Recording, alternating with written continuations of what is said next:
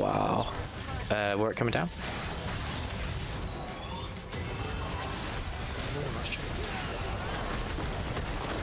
Oh my god, he's stunned for so long.